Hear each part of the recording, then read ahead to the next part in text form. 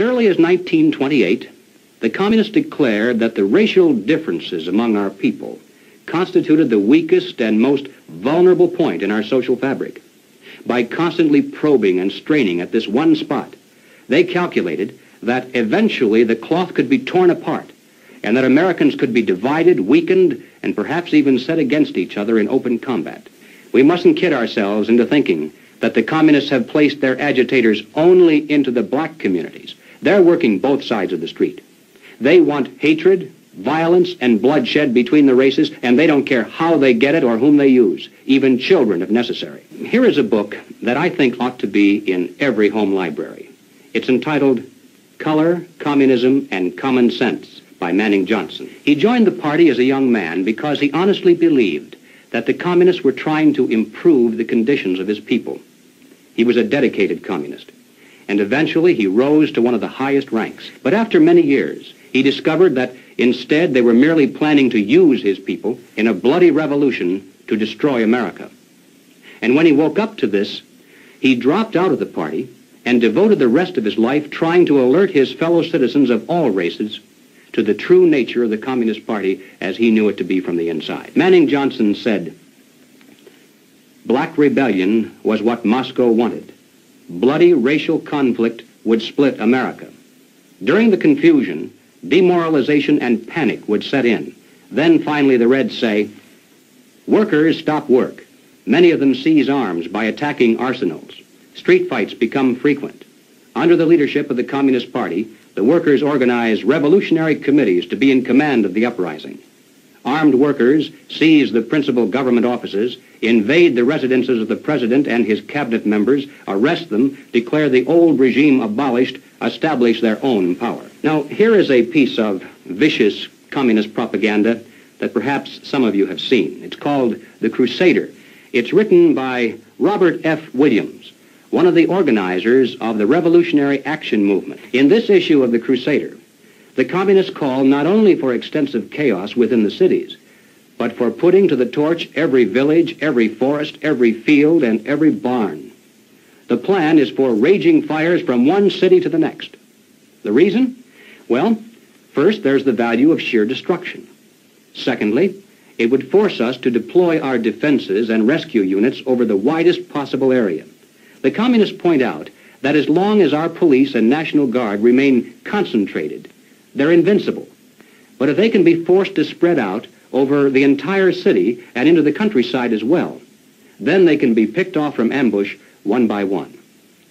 And the third value of massive fire to the communists is psychological.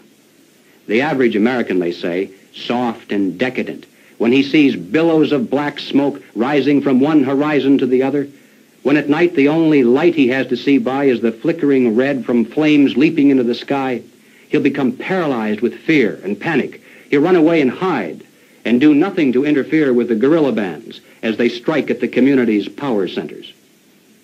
The Crusader explains how to set up sniper units in crowded metropolitan areas, how to manufacture jumbo Molotov cocktails, the gallon jug size, and how to mix the gasoline with certain ingredients to make it burn like napalm, how to pour gasoline into utility manholes in the streets to set fire to the main telephone cables, how to put sulfur tips from matches into air conditioning units and blow up large buildings, how to ignite gas mains and oil storage tanks. It explains how radio-controlled model airplanes can be used to fly explosive charges over heavily guarded fences into gasoline storage areas or munition stockpiles. It even calls for infiltration into the National Guard units. Revolutionaries posing as non-militants for the purpose of getting free military training and for gaining access to critical military supplies and heavy weapons. And then, finally, Robert Williams says this. Any all-out minority revolution must create a state of crisis wherein almost all of the male population would be forced to remain in their homes to protect their property and families. The middle class is very large, but it is not accustomed to deprivation and terror.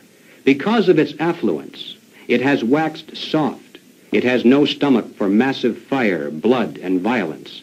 The motive force behind its life drive is its endless pursuit of prestige, conspicuous consumption, and sensual pleasure. A few years of violent, sporadic, and highly destructive uprisings will set the stage for the grand finale.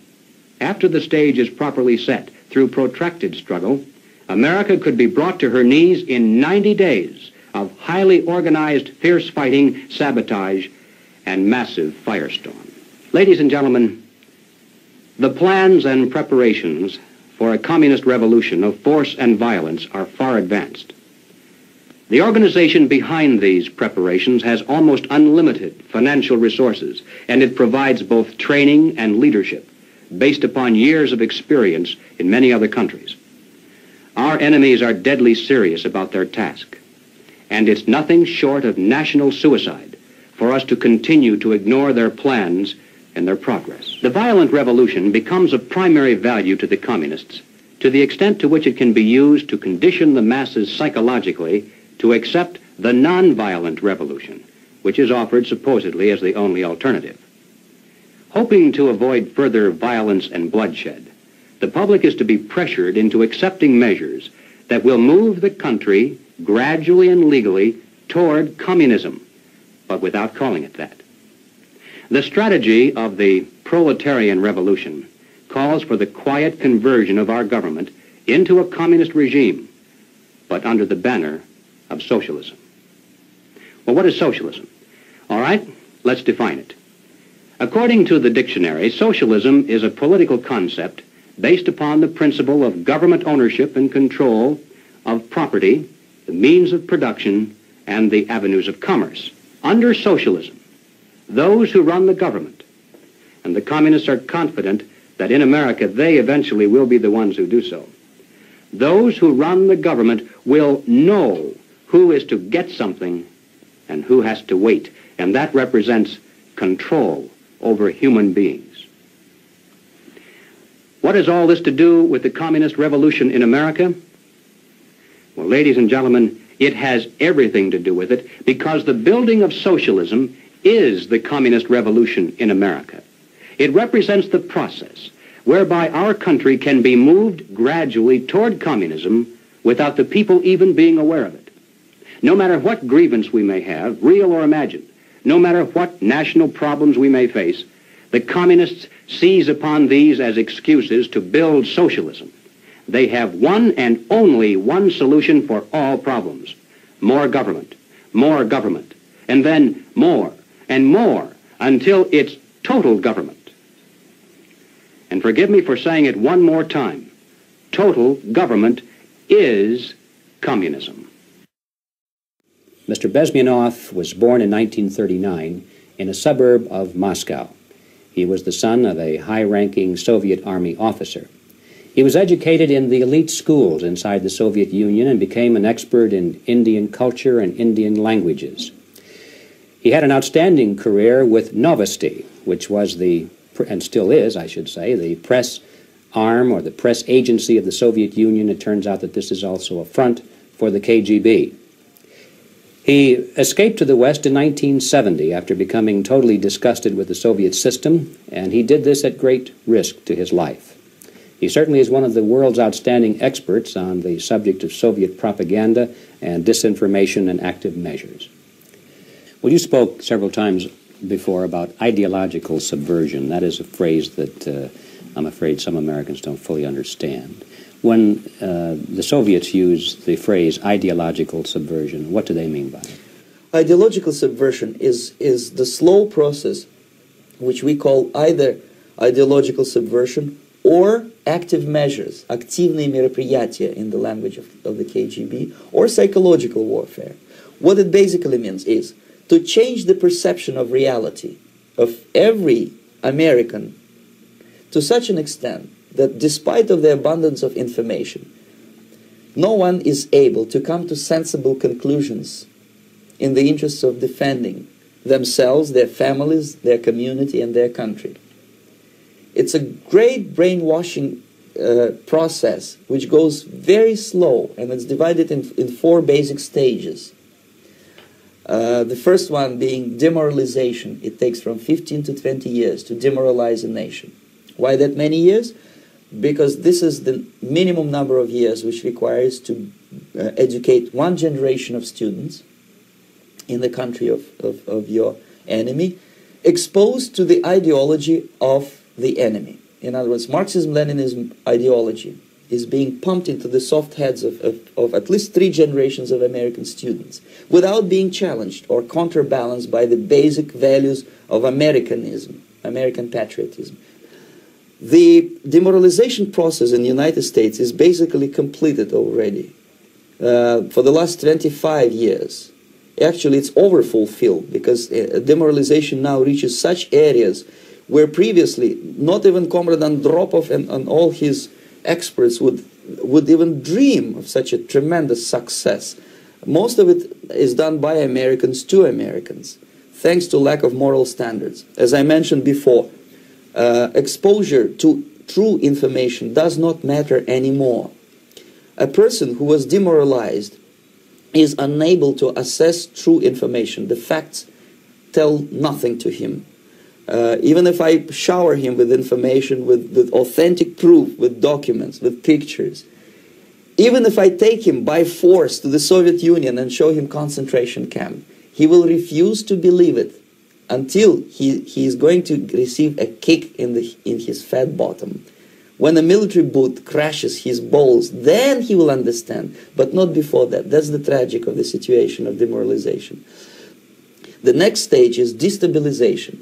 This time, subverter does not care about your ideas and the patterns of your consumption. Whether you eat junk food and get fat and flabby doesn't matter anymore. This time, and it takes only from two to five years to destabilize a nation. Uh, it's what what matters is essentials: economy, foreign relations, defense systems. Uh, and you can see it quite clearly that in some areas, uh, in such sensitive areas as, as uh, defense, and economy, uh, the influence of Marxist-Leninist ideas in the United States is absolutely fantastic. I, I, could never believe it 14 years ago when I landed uh, in this part of the world that the process will go that fast. Uh, the next stage, of course, is crisis. It, it, it, may take only up to six weeks to, to bring a country to the verge of crisis. You can see it in, in Central America now. And after crisis, with a violent change of, of power, structure, and economy, you have so-called the period of normalization. It may last indefinitely.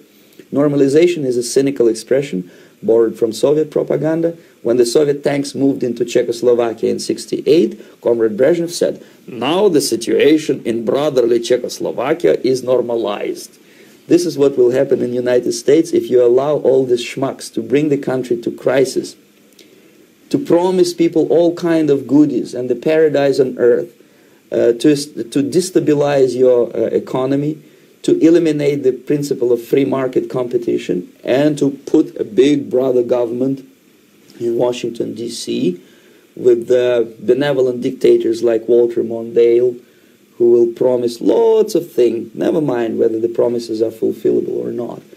Your leftists, in, in United States, all these professors and all these beautiful civil rights defenders, they are instrumental in the process of the of the uh, uh, subversion only to destabilize the nation. When their job is completed, they are not they are not needed anymore. They know too much.